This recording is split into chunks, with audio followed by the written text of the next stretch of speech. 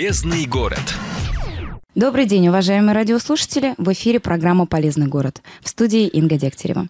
Сегодня у нас в гостях генеральный директор Кировской экспертно-строительной организации Павел Рылов. Павел, добрый день. Добрый день. Итак, сегодня мы с вами поговорим о строительной экспертизе, о реализации строительных объектов, а самое главное, отметим на вопрос, что такое услуга технический заказчик и в каком случае просто необходимо ей воспользоваться.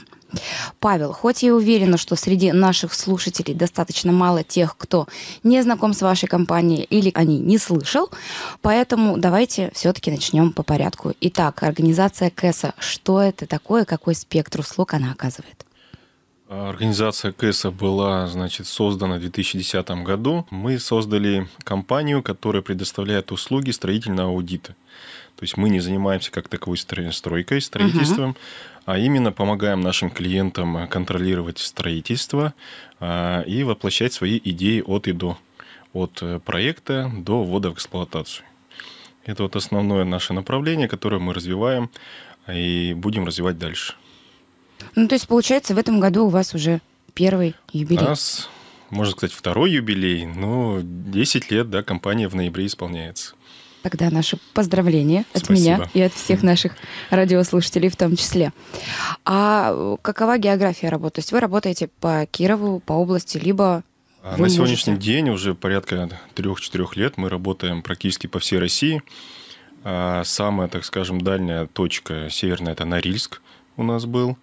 Потом мы работаем ПФО, Центральный угу. федеральный округ, ну и Южный тоже федеральный округ полностью. Мы в Кирове, так скажем, не сидим, мы в основном работаем именно по России. Может, потому что в Кирове просто все уже оценили экспертно?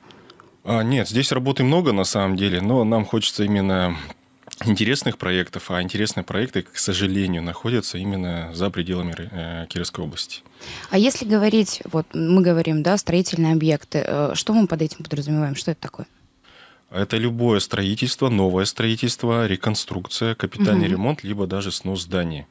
То есть э, все, что касается недвижимости, в любой недвижимости наша услуга полезна и пользуется популярностью. Угу вернемся как раз к тому, что я озвучила в самом начале. Давайте перейдем к услуге технического заказчика. Давайте. Очень интересное название. Хотелось бы узнать поподробнее, что же это такое. Откройте секрет. А, ну, на самом деле, когда мы говорим э, служба технического заказчика, большинство, так скажем, наших клиентов, в принципе, не понимает, что это такое, да, ну, звучит технический заказчик, а да. что это, достаточно сложное понятие. На самом деле, если простым языком объяснять, то достаточно все просто. Это представитель, представитель нашего инвестора, нашего клиента, да, то есть клиент, который задумал что-либо построить, торговый угу. центр, предположим, производство, а, даже школы, садики и так далее – нанимает своего представителя, который сопровождает стройку от и до, который э, планирует строительство, который ищет подрядчиков, нанимает подрядчиков, э, смотрит проектную документацию, принимает, взаимодействует с госстрой, госстрой надзором, да, угу. государственные структуры, получает все различные справки, документы. То есть любое строительство это достаточно большой документооборот, в угу. первую очередь. Да? Для того, чтобы это все было качественно, и в срок, соответственно, это надо все параллельно делать и соблюдать. А второе направление тех заказчика – это строительный контроль. То есть строительный контроль, он непосредственно контролирует уже качество работ, объем фактически выполненных работ. Угу. И далеко не секрет, что э, сметы в течение стройки, они растут. Волшебная вещь. Да, и поэтому тут надо понимать, что а почему выросла смета, да? То есть если мы обосновываем, действительно бывают непредвиденные какие-то угу. расходы, да, что-то мы нашли там, когда начали копать какие-то старые фундаменты, откопали, либо что-то было не учтено в проекте, э, то есть это все обосновывается. Но по факту наша задача уложиться в то инвестирование, да, которое было выделено непосредственно инвестором при заказе там, строительства какого-нибудь объекта недвижимости. Вот, поэтому технический заказчик – это в первую очередь представитель застройщика, э, владельца земельного участка, на котором планируется строительство. То есть он может заниматься своими делами, он может вести свой бизнес дальше. Угу. Ему не нужно содержать огромный штат специалистов, которые в строительстве так или иначе связаны. Ему не нужно взаимодействовать э, с госструктурами. То есть в конце, на выходе он получает определенный объект, который будет приносить ему прибыль. Либо, если это муниципальное значит, э, назначение, то э, будет запущен объект либо садик, либо школа, либо больница, который будет уже обслуживать население. Ага, тогда такой вопрос. Смотрите, а вот этот технический заказчик, вы говорите, это некий там представитель, да, да. сопроводитель, является действующим членом компании, которая заказывает, или это может быть ваш человек, который вот все знает, все умеет ну, и идет и делает? Смотрите, тут два варианта на самом деле. Вот э, инвестор, э, застройщик, он может, в принципе, сам это все реализовать. То есть, если у него, опять же, в штате это есть специалисты, угу. либо, ну, можно, можно сказать, что одного человека нанял, и тот все сопровождает либо нанимают именно нашу организацию, как, так как мы специализируемся на этом, uh-huh. и, в принципе, мы понимаем всю хронологию строительства, понимаем все перечень, весь перечень документов, который необходим при строительстве, которое оформляется, издается как э, Госстройнадзору, предположим, и саму заказчику, и нанимают нас непосредственно, чтобы быть уверенным, что стройка будет, как положено, выполнена с качеством, вовремя, Э, в срок и, соответственно, со всей исполнительной документацией. То есть обратиться к вам могут как юридические лица, так и муниципалитет, Абсолютно, получается, да. Ну, муниципалитеты, у них, как правило, это а, аукционы, угу. то есть, да, аукцион там по 44 по 223 ФЗ. Но, тем не менее, частный инвестор, как правило, отбирает непосредственно а, среди фирм, может быть, внутренний конкурс устроит, может быть, там ценовые предложения какие-то, а, портфолио запросит, и угу. уже на стадии переговоров определяется, с кем ему сотрудничать. Ох, как много вы всего сказали, и как емко это звучит. Мне вот, как девочке, очень тяжело понять это все, но мне кажется, что все на самом деле, а, чем заниматься всем этим самому и разбираться, намного проще отдать специалистам, ну, которые В любом случае и, и нужно сделают. понимать, что строительство это достаточно сложный процесс, да, и и ошибочно думать, когда просто-напросто надо получить разрешение на строительство, что-то построить, а, как-то его сдать, и все, на этом как бы весь процесс завершается. Ничего подобного. На самом деле, а, если это касается какого-то частного домостроения, небольшого, то, конечно, здесь нет смысла тех заказчика нанимать. Но любые крупные объекты без этой услуги просто не обходятся. То есть в любом случае они привлекаются, исполняют свои обязанности и выдают результат. А скажите, а, приходилось ли вам доделывать и переделывать? Ну, человек начинает, решил построить, разрешение получил, угу. процесс запустил и понял, что все, не могу. Техзаказчик подключиться может, в принципе, на любом этапе строительства. Но, как правило, мы всегда советуем э, подключать э, услугу техзаказчика уже на этапе идеи. Угу. То есть сам инвестор, предположим, уже задумал построить какой-то торговый центр. Э, у него есть идея. Он хочет увидеть, предположим, там габариты 50 на 50, высотой там 7 метров, чтобы у меня там продавались, предположим, какие-то стройматериалы угу. и так далее. Но зачастую нет понимания, как это все сделать, как это все реализовать. Вот, поэтому мы, здесь приходим на помощь и вместе с ним обсуждаем концепцию, да, что это угу. будет, как это будет, примерное бюджетирование, примерный план, сколько времени на это идет, какие подводные камни могут быть, проектирование и так далее, инженерные изыскания. В общем, масса всяких нюансов, которые с ним обсуждаются.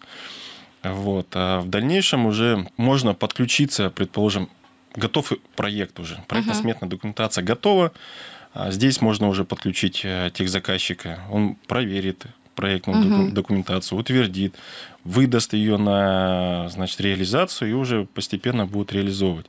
Но если позднее подключать услугу техзаказчика, то здесь уже, как правило, ну, что ли, бессмысленно уже это делать.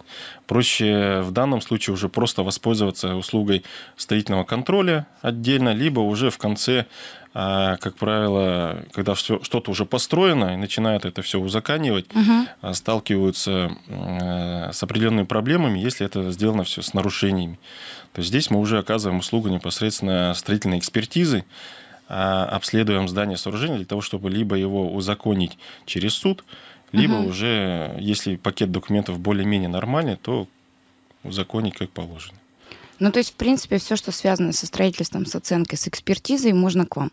Да, у нас основные направления – это а, строительная экспертиза, услуга технического заказчика, угу. строительный контроль как отдельная услуга может быть выделена, а, проектирование и обследование зданий и сооружений. То есть мы работаем по принципу одного окна. Угу. То есть если клиент к нам обращается с, какой-либо задачей по его недвижимости, предположим, он хочет провести реконструкцию производственного здания, то, соответственно, мы ему оказываем полный комплект услуг, а, значит, обследование, проектирование, угу. сопровождение, ввод в эксплуатацию. То есть он получает уже непосредственно у нас все, что мы можем ему дать и, а, так скажем, воплотить его идею в жизнь. Угу. А в Кирове с какими организациями, если это не секрет, конечно, работали? Вот прям, может быть, где-то как раз от идеи до ввода в эксплуатацию, либо подхватывали на каком-то этапе? Я понял, да. Но на самом деле в Кирове э, с нашей помощью реализовано три крупных объекта. А, так, Первый так, так. объект э, мы участвовали в строительстве мы как были не полностью тех заказчиков, uh-huh. участвовали в службе тех заказчика, который был с Москвы, но привлекли наших специалистов э, здесь на месте. Это было строительство торгового центра Леруа Мерлин. Uh-huh. Вот, то есть мы там участвовали, начиная с котлована и уже заканчивали непосредственно полностью сдачей объекта. Там приезжал комиссия, которая наполовину состояла из французов, они там очень строго все принимали, у них совершенно другие нормы и подходы, нежели у русского человека. Вот. Ну, объект сдан, объект работает. Я думаю, что все знают этот объект в городе Кирове, и дальше будет работать. Второй объект э, тоже достаточно значимый для региона. Это Вятский фанерный комбинат, угу. когда они модернизировали, увеличивали свои производственные мощности, строили целый корпус э, для линии производства э, фанеры. То есть мы там тоже участвовали непосредственно уже в составе тех заказчиков. Угу. Тоже наши специалисты э, участвовали в сборе всей исполнительной документации, контролирование сроков, контролирование объемов фактически выполненных работ. И на сегодняшний день это предприятие работает и приносит прибыль себе и региону, я думаю, немаленькую. Это второй объект, угу. который реализован здесь. Третий, буквально недавно мы завершили, в этом году мы завершили объект. Это а, предприятие Аварус, которое выпускает, значит... Фармацевтическое предприятие. Да. И там была, была реконструкция достаточно большая реконструкция, шестиэтажное здание, то есть они тоже запланировали расширение производства. Угу. А, вот буквально мы в, в марте, по-моему, сдали объект, там мы уже участвовали а, сами, то есть полностью оказывали весь комплекс угу. услуг от и до, а, начиная а, с проверки проектной документации и заканчивая вводом в эксплуатацию. То есть здание запущено, здание, я думаю, что скоро начнет полностью э, выдавать производственные мощности и будет приносить пользу как, опять же, региону, так и всему миру в целом. Особенно учитывая сегодняшнее положение. Это да. Ну, действительно, есть чем похвастаться. Есть. Э, объекты есть еще серьезные. более мелкие объекты, но в Кирове вот основные такие вот крупные. А отличаются ли объекты, которые вы э, оцениваете либо участвуете в их строительстве а, те, что находятся в нашем регионе, например, и за пределами? Ну вот по сложности самих процедур, объектов, временных интервалах? Сложность зависит э, от э, вида строительства. То есть это либо производственное здание, либо угу. это а, какое-то а, общественное здание. То есть на производственных зданиях достаточно много коммуникаций, инженерных сетей. Угу. Поэтому сложность там достаточно большая, нежели в общественных, там, эти же, предположим, школы, садики угу. и так далее. Э, в принципе, ничем не отличается, потому что законодательство, строительная нормативка, она у нас одна. Угу. А, возможные сложности могут возникать именно в административном ресурсе. То есть согласование э, всех справок, э, технических условий, получение разрешения. В принципе, законодательством все регулируется. Все эти нормы прописаны. Но бывают, э, все мы люди, все мы разные, бывают различные проволочки, которые решаются на месте. Но каждый объект за пределами и здесь для нас очень интересен, и мы всю душу и любовь в него вкладываем. Поэтому мы э, всегда позиционируемся так, что э, наш заказчик должен получить качественную услугу. Э, и тех заказчик это очень трудная, так скажем, услуга. Вот, поэтому здесь мы стараемся быть на пике своего профессионализма. Ну, смотрите, вы перечислили достаточно много этапов, вот как раз от самой идеи, да, до эксплуатацию, все, приемки данного объекта. Вот чтобы было проще понимать, во временном интервале, ну вот в среднем, сколько? То есть вы ведь, получается, начинаете работать с компанией, да. и вы вот ее ведете, ведете, ведете. Это неделя, не, не две, не месяца, не полгода. Конечно. То есть как, какая вот в среднем, в среднем э, продолжительность строительства, в котором мы участвуем, занимает э, год-полтора. Угу. То есть это сотрудничество длится ну, на протяжении этого времени. Э, меньше, наверное, нет, больше возможно. В зависимости от объема строительства, от э, объекта. И год это самый минимум. Меньше не бывает, на мой взгляд. Ну, то есть тут партнеры партнеры. Это долгосрочное партнерство, без этого совсем никак, потому что э, деньги, на самом деле, которые там э, крутятся в этой стройке, они достаточно большие. И мы отвечаем за инвестиции там, от миллиарда, полутора миллиардов рублей, да, которые вкладываются в этот объект недвижимости или производства. Тогда вот еще, знаете, какой, наверное, вопрос мне хотелось бы задать. Если э, смотреть э, на то, что это достаточно трудозатратно, угу. это такой достаточно большой временной ресурс нужно задействовать в том числе. А насколько вы готовы, то есть сколько объектов, к примеру, вы можете вести одновременно? На сегодняшний день мы параллельно готовы вести 3-4 объекта, достаточно крупных объектов. А если будет пятый, шестой объект, ну, соответственно, будем а, объявлять набор персонала, профессионалов будем отбирать. У нас очень жесткий отбор персоналов, которые непосредственно участвуют в техническом заказчике. А сколько в среднем сотрудник работает в организации? В нашей организации да. А, у нас есть э, сторожилы, которые 10 лет уже с нами, а, и в среднем 3-4 года. Вот на сегодняшний день, исходя из 10-летнего стажа нашей организации. А насколько большой штат? На сегодняшний день 22 человека. Угу. 22 человека трудятся в нашей организации. Это а, обследователи, обследование зданий и сооружений, это проектирование, это строительная экспертиза, это строительный контроль тех заказчиков. Ну вот я сейчас, наверное, чисто женский вопрос задам. Э, перечисляете все абсолютно техническое, ничего гуманитарного, ничего uh-huh. девичьего. Преимущественно мужчины в компании? Или есть вот э, вроде бы хрупкая, милая блондинка Светлана, а работает Преимущественно мужчины. инженером? Мужчины. А, ну, соотношение где-то будет, э, наверное, 70 на 30. Все-таки это мужчины, это а стройки, это недостроенное здание, это На шпильках грязь, это любое, любое время года. То есть, ну, в основном это мужчины, конечно, в нашей организации. Хорошо, спасибо огромное, Павел. Наше время с вами подходит потихонечку к концу. Вот так быстро да. пробежало время. А, ну, это у нас с вами не последний эфир. Мы с вами еще услышимся, потому что, мне кажется, на эту тему можно говорить до бесконечности, потому что нюансов достаточно много. Да, мы с вами поговорили достаточно в простом языке, чтобы хотя бы понимать, что это такое. А, единственный мой посыл такой, что если вы что-то собираетесь строить, куда-то инвестировать большие деньги, а, советую вам обращаться в такие специализированные организации, как наш, чтобы ваши деньги а, ушли туда, куда нужно, чтобы они были качественно реализованы. Вот это самое главное. И не было воздушных смет. Да. Бесконечных. Бесконечных, э, раздуваемых смет. Спасибо огромное. Это была программа э, «Полезный город». У нас в гостях был Павел Рылов, генеральный директор Кировской экспертно-строительной организации.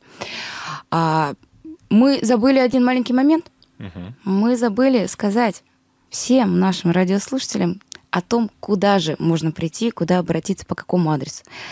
Итак, все внимание.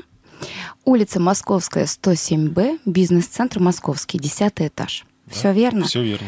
Больше информации о компании Кэса вы можете прочитать на сайте компании. Павел нам сейчас его озвучит.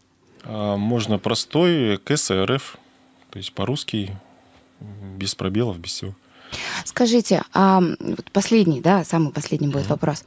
А можно лично с вами, например, работать? Ну, то есть позвонить и сказать, Павел, нам нужно вот это. вот это, да, вот вполне. это хотим? Мы открыты для нашего клиента, для заказчика. И я с любым клиентом готов разговаривать и помогать его реализации.